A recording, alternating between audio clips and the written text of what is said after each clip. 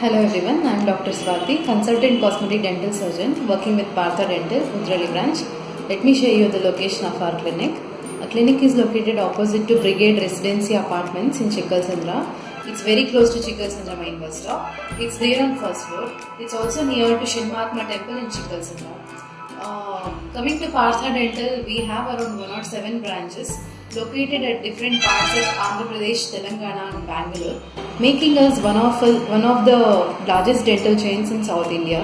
So coming to our branch, uh, we have a state-of-art technology to treat all your dental problems. So if you have any queries or doubts or if you want to have a consultation, you can always come and visit us. Our clinic timings are from morning 10 o'clock to 2 o'clock and in the evening 4 o'clock to 9 o'clock.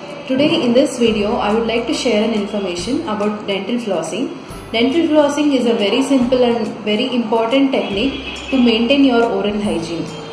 Most of us don't know how to use a dental floss and also uh, most of us don't know what is a dental floss.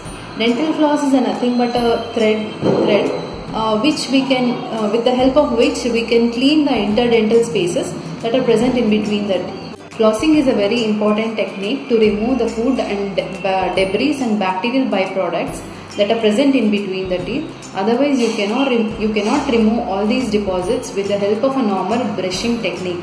So I have a you can see here uh, this is called as a dental floss the thread and you have to pass this this thread in between the teeth i have a model here uh, with the help of which we, i can show you a demo uh, if this is a for your front teeth uh, you have to pass the dental uh, floss in between the teeth like this.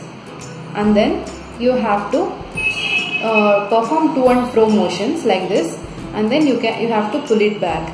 And if it is your back teeth the procedure is always same. Uh, you have to pa pass the dental floss in between the spaces like this. And then you have to perform to and fro motions. And then you have to pull it back. So dental flossing it's a very important technique. And don't forget to uh, floss your teeth before or after you brush your teeth. So that's it. Uh, thank you for watching this video. This is dr Swati